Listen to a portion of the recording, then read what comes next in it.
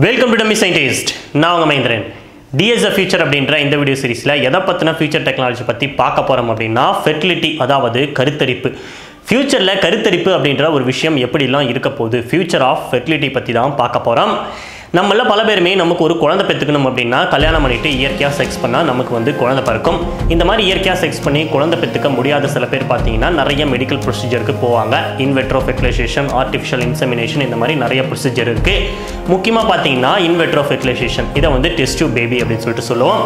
ஒரு பெண்ணோட உடம்புல வந்து கருமுட்டை எடுத்துட்டு ஒரு ஆணோட உடம்புல இருந்து ஸ்பெர்ம் எடுத்துட்டு ரெண்டுத்தையுமே வந்து கருவா லெபார்டரியில் உருவாக்கி அதுக்கப்புறம் பெண்ணோட கர்ப்பப்பையில் வச்சு இந்த மாதிரி குழந்தை பெற்றுக்கும். இது வந்து நம்மள பல பேத்துக்குமே தெரியும். இந்த மாதிரி குழந்தை பெற்றுக்கிறதுக்கு பார்த்தீங்கன்னா ஆணோட உடம்புல வந்து ஸ்பெர்ம் இருக்கணும் அதே மாதிரி பெண்ணோட உடம்புல கருமுட்டை இருக்கணும். அட்லீஸ்ட் ஆணோட உடம்புல ஒரு ஸ்பெர்மாவது இருக்கணும். சில ஆண்களுக்கு பார்த்தீங்க அப்படின்னா இந்த மாதிரி ஒரு ஸ்பெர்ம் கூட இல்லவே இல்லை.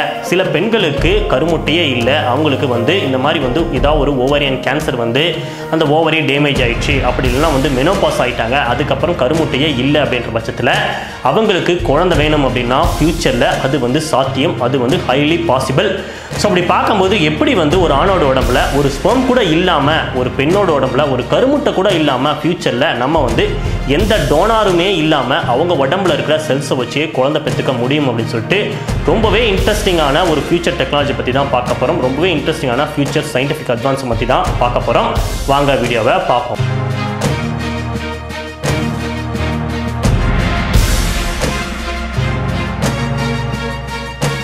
கடந்த ரெண்டாயிரத்தி பதினாறாவது வருஷம் ஜூலை மாதம் பார்த்தீங்கன்னா ஜப்பானில் இருக்கிற சில ஆராய்ச்சியாளர்கள் சில எலிகளை வச்சுக்கிட்டு அந்த எலிகளோட குட்டிகளை வந்து இவங்க வந்து அந்த எலிகளோட ஸ்பெர்ம் செல்ஸையும் எக் செல்ஸையும் உருவாக்குனாங்க. இது எப்படி அந்த எலிகளோட ஸ்பெர்ம் செல்ஸும் எக் செல்ஸும் இல்லாமே அவங்க உருவாக்குனாங்க அப்படின்னா அவங்க வந்து அந்த எலிகளோட ஸ்கின் செல்ஸ் அதாவது அந்த எலியோட தோல் இருக்கிற சில விதமான ஸ்கின் செல்ஸை வெளியெடுத்து அதை வந்து லெபார்ட்டரியில் அந்த ஸ்கின் செல்ஸ்லேருந்து அந்த ஸ்கின் செல்ஸை ஸ்பெர்ம் செல்ஸாகவும் எக் செல்ஸாகவும் டெவலப் பண்ண வச்சு அதாவது அந்த ஸ்கின் செல்ஸை விந்தணுவாகவும் கருமுட்டையாகவும் டெவலப் பண்ண வச்சு அது ரெண்டுத்தையுமே வந்து லெபார்ட்டரியில் ஒன்று சேர்த்து கருவாக உருவாக்கி அதை எலிக்குள்ளார வச்சு அவங்க வந்து கிட்டத்தட்ட இருபத்தாறு எலிக்குட்டிகளை உருவாக்குனாங்க. அதாவது இந்த மாதிரி வந்து இயற்கையான அந்த எலியோட ஸ்பெர்ம்ஸையும் கருமுட்டையும் இல்லாமையே இவங்க செயற்கையாக வந்து ஸ்பெர்மையும் கருமுட்டையும் உருவாக்கி இருபத்தாறு எலிக்குட்டிகளை உருவாக்குனாங்க.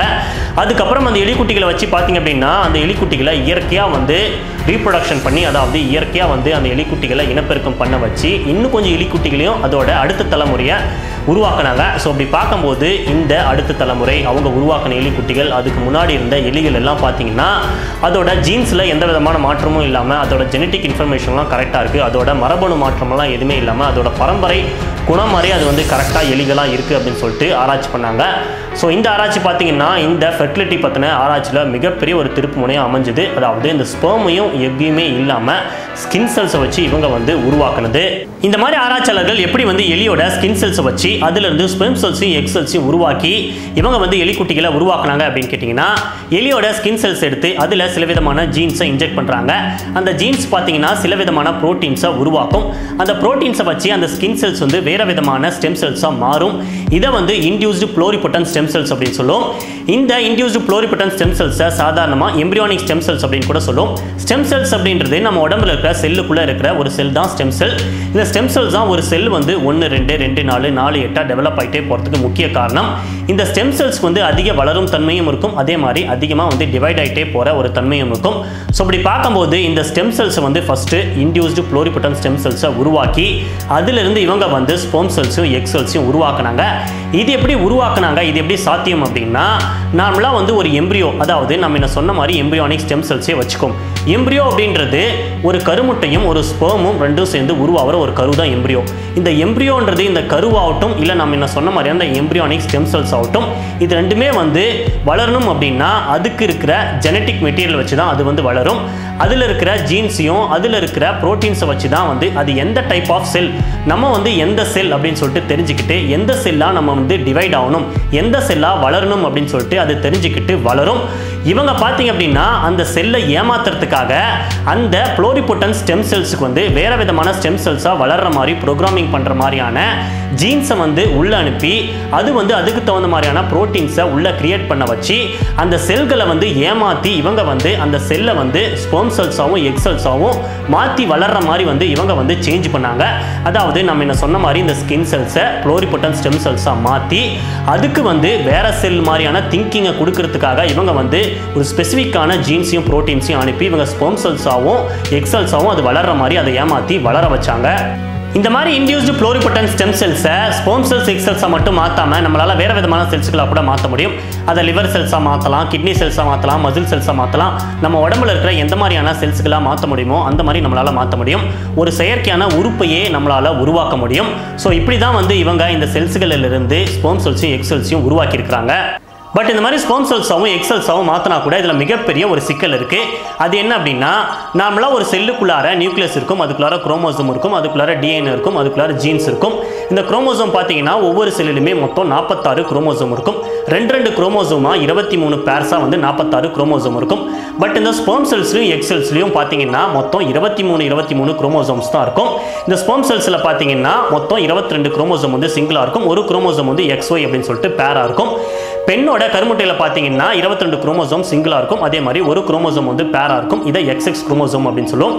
இது வந்து ரொம்பவே ஸ்பெஷலான ஒரு விஷயம். அதாவது இந்த ஸ்போம் செல்ஸ்லையும் எக்ஸ் செல்ஸ்லையும் இருபத்தி மூணு குரோமோசோம் மட்டும்தான் இருக்கிறது.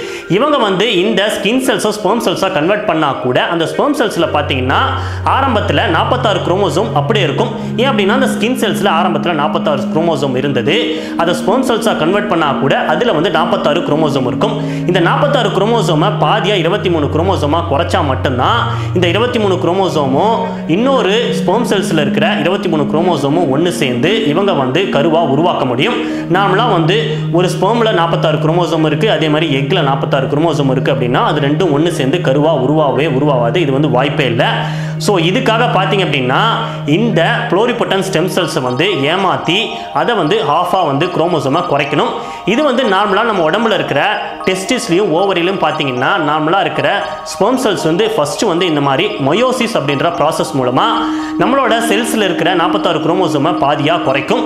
மயோசிஸ் அப்படின்றது பார்த்தீங்கன்னா நம்மளோட டெஸ்டிஸில் ஸ்பெர்ம் செல்ஸ் எடுத்துக்கிட்டோம் அப்படின்னா கூட அந்த ஸ்பெர்ம் செல்ஸில் ஆரம்பத்தில் நாற்பத்தாறு குரோமோசோம் இருக்கும். இந்த மயோசிஸ் ப்ராசஸில் செல்கள் வந்து டிவைட் ஆகிட்டே போய் ரெண்டு ஸ்டேஜாக டிவைட் ஆகிட்டே போய் ஒரு ஸ்டேஜில் பார்த்தீங்கன்னா இந்த ரெண்டு ஸ்டேஜாக டிவைட் ஆகிட்டே போனால் கூட நம்மளோட அப்பா அம்மாவோட குரோமோசோமு அதில் இருக்கிற மெமரி எல்லாத்தையுமே கிராஸ் ஓவர் பண்ணி அது ரெண்டுத்தையுமே வந்து கலந்து வர மாதிரி இது வந்து டெவலப் ஆகி அதுக்கப்புறமேட்டுக்கு நாலு சிங்கிள் செல்லாக கன்வெர்ட் ஆகும்.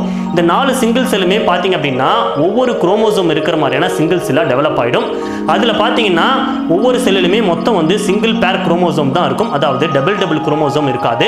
ஸோ இப்படி பார்க்கும்போது ஃபர்ஸ்ட் வந்து இந்த மயோசிஸ் அப்படின்ற ப்ராசஸ் மூலமாக நாற்பத்தாறு குரோமோசோம் வந்து பாதியாக குறைஞ்சி அதுக்கப்புறம் தான் ஒரு ஸ்பெர்ம் செல் மெச்சூரான ஸ்பெர்ம் செல்லாக மாறும். எக் செல்லும் மெச்சூரான எக்ஸ் செல்லாக மாறும்.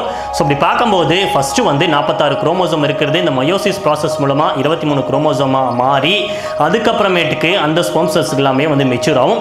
மெச்சூர் ஆகிற ஸ்பெர்ம் செல்ஸ் எக் செல்ஸ்க்கு முன்னாடி இருக்கிற ஸ்டேஜ் வந்து நம்ம ஜெர்ம் செல் அப்படின்னு சொல்லுவோம் அதாவது ப்ரீமாடியல் ஜெர்ம் செல் அப்படின்னு சொல்லுவோம் ஸோ இப்படி பார்க்கும்போது இவங்க வந்து இந்த இன்டியூஸ்டு ப்ளோரிபட்டன் ஸ்டெம் செல்ஸை ப்ரீமாடியல் ஜெம் செல் தான் மாற்றி அந்த ஜெம் செல்ஸ்க்கு வந்து சில விதமான ஆர்டிஃபிஷியல் இந்த மாதிரி ப்ரோட்டீன்ஸ் எல்லாம் கொடுத்து அதை ஏமாற்றி மயோசிஸ் அப்படின்ற ப்ராசஸ் வந்து நடக்க வச்சு அந்த எலிகளோட ஸ்கின் செல்ஸில் இருக்கிற நாற்பத்தாறு குரோமோசோமை இருபத்தி மூணு குரோமோசோமாக குறைச்சி அதுக்கப்புறமேட்டுக்கு தான் அதை வந்து ஸ்பெம் செல்ஸாக மாற்றிருக்கிறாங்க இந்த ஸ்பெம் செல்ஸாக வந்து இயர்லி ஸ்டேஜ் ஸ்பெம் செல்ஸாக தான் இவங்க மாற்றிருக்கிறாங்க அதாவது நம்ம என்ன சொன்ன மாதிரி இந்த ப்ரீமாடியல் ஜெம்ஸ் எல்லாம் மாற்றிருக்கிறாங்க இது வந்து இதுக்கப்புறமேட்டுக்கு தான் வளரும். இது வளர்கிறதுக்காக பார்த்தீங்கன்னா ஆரம்பத்தில் வந்து இந்த ப்ரீமாடியல் ஜெம்ஸ் எல்லாம் எடுத்துகிட்டு போய் எலியோட டெஸ்டிஸில் வச்சு அந்த எலியோட டெஸ்டிஸில் இருக்கிற திசுக்களில் வர கெமிக்கல் சிக்னல்ஸு அதே மாதிரி அதில் வர ஜெனட்டிக் இன்ஃபர்மேஷன்லாம் வச்சு அந்த டெஸ்டிஸ்குள்ளார இவங்க ஆர்டிஃபிஷியலாக உருவாக்கின ஸ்போம் வந்து வளரும்.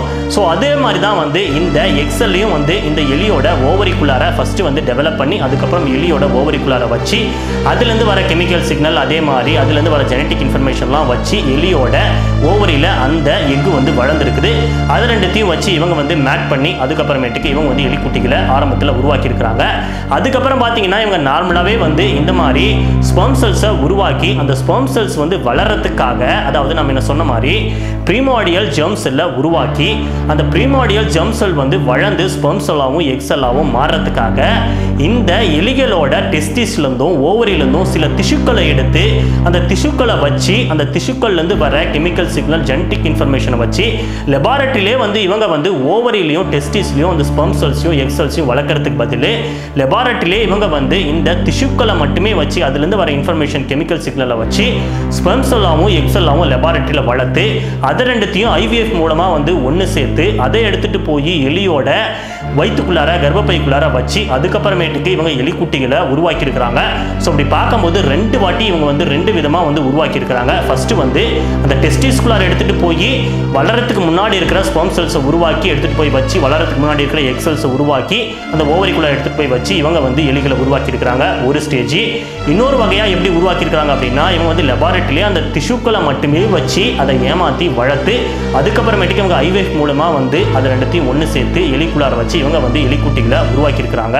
இந்த மாதிரி தான் ஃப்யூச்சரில் நம்மள சில பேர்த்துக்கு யாருக்காவது குழந்தை இல்லை அப்படின்னா நம்மளால் நம்ம உடம்புல இருக்கிற ஸ்கின் செல்ஸை வச்சு இல்லை வேறு ஏதாவது உறுப்பில் இருக்கிற செல்ஸ்களை எடுத்து இந்த மாதிரி இன்டியூஸ்டு ப்ளோரிபட்டன் ஸ்டெம் செல்ஸாக மாற்றி அதுலேருந்து ஸ்போம் செல்ஸ் எக்ஸல்ஸாக கன்வெர்ட் பண்ணி நம்மளால் குழந்தை பெற்றுக்க முடியும் அப்படின்னு சொல்லிட்டு ஆராய்ச்சியாளர்கள் சொல்கிறாங்க இதை வந்து இன்விட்ரோ கெமட்டோ ஜெனசிஸ் அப்படின்னு சொல்லிட்டு சொல்கிறாங்க அதாவது ஐவிஎஃப் மாதிரி இது வந்து ஐவிஜி அப்படின்னு சொல்லிட்டு சொல்கிறாங்க இதுக்கு பார்த்தீங்கன்னா பல கிரிட்டிசிசமும் இருக்குது அதாவது இந்த மாதிரி வந்து குழந்தை பெற்றுக்கிறதெல்லாம் வந்து தேவையில்லாது அப்படின்னு சொல்லிட்டு பல ஆராய்ச்சியாளர்கள் சொல்கிறாங்க பட் என்னதான் இருந்தால் கூட ஐவிஎஃப் வரும்போது கிட்டத்தட்ட நாற்பது வருஷத்துக்கு முன்னாடி இதே மாதிரி கிரிட்டிசிசம் தான் வந்தது. பட் இப்போதைக்கு பார்த்தீங்கன்னா இந்த உலகத்தில் கிட்டத்தட்ட எண்பது லட்சம் குழந்தைகள் வந்து ஐவிஎஃப் ப்ரொசீஜரில் வந்து பிறந்திருக்கு.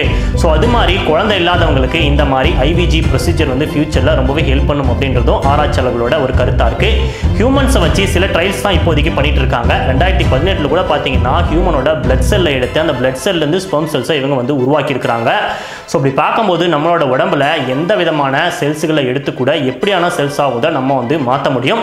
இதுக்காக பார்த்தீங்கன்னா ரெண்டாயிரத்தி ஆறு ரெண்டாயிரத்தி ஏழில் பண்ண ஜப்பான் சயின்டிஸ்ட்க்கு ரெண்டாயிரத்தி பன்னெண்டில் வந்து இந்த ஆராய்ச்சிக்காக நோபல் பிரைஸ் மெடிசனில் தரப்பட்டது. அதாவது இந்த மாதிரி வந்து நம்ம வேறு ஏதாவது செல்ஸ் எடுத்து அதை வந்து இன்டியூஸ்டு ப்ளோரிபட்டன் ஸ்டெம் செல்ஸாக மாற்றலாம் அப்படின்ற ஒரு ஆராய்ச்சிக்காக இவருக்கு நோபல் பிரைஸும் தரப்பட்டது. ஸோ இப்படி பார்க்கும்போது ஃப்யூச்சரில் நமக்கு வந்து சில பேர்த்துக்கு யாருக்காவது மெனோபாஸ் ஆகிடுச்சு அப்படி இல்லை ஒரு ஸ்பெர்ம் கூட ப்ரொடியூஸ் ஆகலை. அப்படி இல்லை ஓவரியில் ஏதாவது கேன்சர் ஆகி ஓவரி வந்து ரிமூவ் பண்ணுற மாதிரி ஆகிடுச்சு ஓவரியில் எக்கே வந்து ப்ரொடியூஸ் ஆகலை அப்படின்னா கூட நம்மளால் குழந்தை பெற்றுக்க முடியும். இந்த மாதிரி ஆணும் ஆணும் கல்யாணம் பண்ணுறாங்க அப்படின்னா கூட நம்மளால் பெண்ணோட எக்ஸல் டோனார் இல்லாமல் கூட குழந்தை பெற்றுக்க முடியும். இதை வந்து யுனி பேபி அப்படின்னு கூட சொல்கிறாங்க யுனி பேரண்ட் அப்படின்னு கூட சொல்கிறாங்க ஸோ அப்படி பார்க்கும்போது ஆணும் ஆணும் கல்யாணம் பண்ணுறாங்க அப்படின்னா கூட அவங்களோட பரம்பரையில் அவங்களோட ஜெனட்டிக் இன்ஃபர்மேஷன் வச்சு குழந்தை பெற்றுக்க முடியும். பெண்ணும் பெண்ணும் கல்யாணம் பண்ணுறாங்கன்னா கூட குழந்தை பெற்றுக்க முடியும். ஏன் ஒரு பெண் இல்லைனா ஒரு ஆண்? தனியாக கூட பார்த்தீங்க அப்படின்னா அவங்களால அவங்க உடம்புல இருந்து ஸ்பெர்ம் செல்ஸையும் எக்ஸ் உருவாக்கி அவங்களே வந்து தானாக வந்து குழந்தை பெற்றுக்கவும் முடியும். நம்ம என்ன சொன்ன மாதிரி இந்த யுனி பேபி அப்படின்ற கான்செப்டை வச்சு இது வந்து ஃப்யூச்சரில் வரதுக்கான வாய்ப்புகள் ரொம்பவே அதிகமாக இருக்குது பட் இதெல்லாம் வந்து நம்ம இன்ன போன வீடியோவில் சொன்ன இந்த ஆர்டிஃபிஷியல் லிட்ரஸில் வர மாதிரியான லீகல் இஷ்யூ அதே மாதிரி இந்த எத்திக்கல் இஷ்யூலாம் தாண்டி தான் இந்த மாதிரியான ஒரு ஆராய்ச்சிகள் வந்து மார்க்கெட்டுக்கு வரும். பட் இது பார்த்திங்க அப்படின்னா இன்னும் வந்து ஒரு அஞ்சு பத்து வருஷத்தில் ஹியூமன் ட்ரையல்ஸ் வந்து வந்துடும் அதுக்கப்புறமேட்டுக்கு பார்த்தீங்கன்னா ஒரு அஞ்சு பத்து வருஷத்தில் வந்து இந்த மாதிரி மார்க்கெட்டுக்கு வந்துடும் அப்படின்னு சொல்லிட்டு ஆராய்ச்சியாளர்கள் சொல்கிறாங்க ஸோ அப்படி பார்க்கும்போது இந்த ஐவிஜி அப்படின்ற ஒரு ப்ரொசீஜர் வந்து இந்த ஐவிஎஃப்க்கு ரீப்ளேஸ் பண்ணுற மாதிரியான ஒரு ப்ரொசீஜர் வரும். ஒரு மாற்று ப்ரொசீஜரான ஒரு ப்ரொசீஜராக இந்த ஐவிஜி வந்து இருக்கும். இது வந்து ரொம்பவே அட்வான்ஸ்டு ஒரு ரிசர்ச் அப்படின்னு கூட சொல்லலாம். ஸோ இப்படி பார்க்கும்போது இந்த நம்ம உடம்புல இருக்கிற செல்ஸுகளை எப்படி வேணாலும் செல்ஸுகளாக கன்வெர்ட் பண்ணலாம் அப்படின்றது ரொம்பவே இன்ட்ரெஸ்டிங்கான ஒரு அறிவியல். ஸோ இது வழியாக வந்து ஸ்பெம் செல்ஸையும் எக்ஸ் செல்ஸையும் மாற்றி இந்த மாதிரி வந்து குழந்தை பெற்றுக்கலாம் அப்படின்ற இந்த மாதிரியான ஒரு ஃபியூச்சர் ஆஃப் ஃபெர்டிலிட்டி கான்செப்ட் வந்து இந்த வீடியோவில் நான் பண்ணலாம் அப்படின்னு சொல்லிட்டு தான் இந்த வீடியோ பண்ணேன். இந்த வீடியோ உங்களுக்கு ரொம்பவே பிடிச்சிருக்கும் அப்படின்னு சொல்லிட்டு நான் நம்புறேன். இதே மாதிரி இன்ட்ரெஸ்டிங்கான சயின்ஸ் அண்ட் டெக்னாலஜி வீடியோஸ்லாம் நீங்கள் பார்க்கணும் அப்படின்னு நினச்சிங்கன்னா மறக்காம டம்மி சயின்டிஸ்ட்டாக சப்ஸ்கிரைப் பண்ணுங்கள் இந்த வீடியோ பிடிச்சிருந்தா லைக் பண்ணுங்கள் நிறைய ஃப்ரெண்ட்ஸுக்கு ஷேர் பண்ணுங்கள் உங்களோட கருத்துக்களை கமெண்ட் பண்ணுங்கள் ஃபியூச்சரில் என்ன மாதிரி டெக்னாலஜி வரப்போகுது அப்படின்னு சொல்லிட்டு நீங்கள் தெரிஞ்சுக்கணும்னு ஆசைப்பட்றீங்க. அதை பற்றியும் வேணும் அப்படின்னா அந்த டெக்னாலஜியை கமெண்ட் பண்ணுங்கள் நான் வீடியோ பண்ணுறேன் இதே மாதிரி இன்ட்ரெஸ்டிங்கான வீடியோஸில் நான் உங்களுக்கு சந்திக்கிறேன் அட்டி தன் பாய் ஃப்ரம் டம்மி சயின்டிஸ்ட்